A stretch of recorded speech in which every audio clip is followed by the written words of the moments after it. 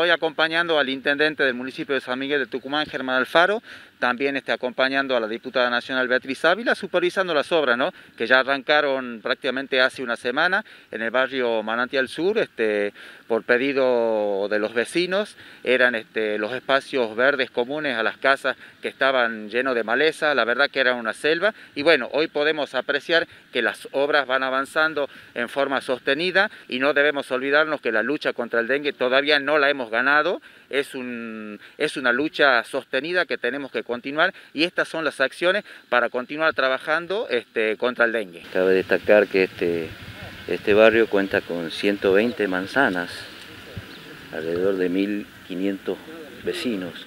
Eh, y de esta forma el intendente quiere llegar a todos los lugares eh, eh, de los espacios públicos y privados para hacer la limpieza. También este, se va a hacer este, en la zona, levantar todos los basurales. Acá estamos nuevamente con el intendente Germán Alfaro. La municipalidad lo que está haciendo son operativos realmente muy grandes en, lo que tiene que ver espacios públicos y espacios comunes, sacando todo lo que es la maleza, eh, son muchas toneladas de basuras que estamos viendo. Eh, tengan en cuenta ustedes que de un frente hacia el otro no se podían ver y hoy cómo, cómo está cambiando.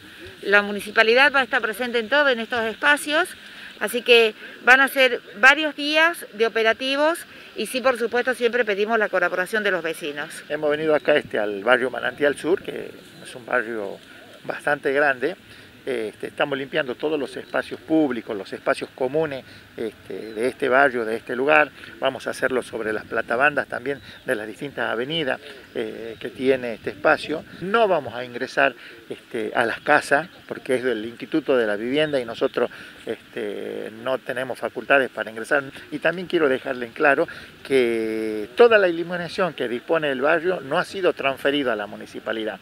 Todo lo que signifique limpieza, todo lo que signifique escombro, todo lo que signifique basura, vamos a limpiar este, durante todo este, este tiempo que, vamos a estar acá y este, hasta no dejarlo limpio no nos vamos a retirar.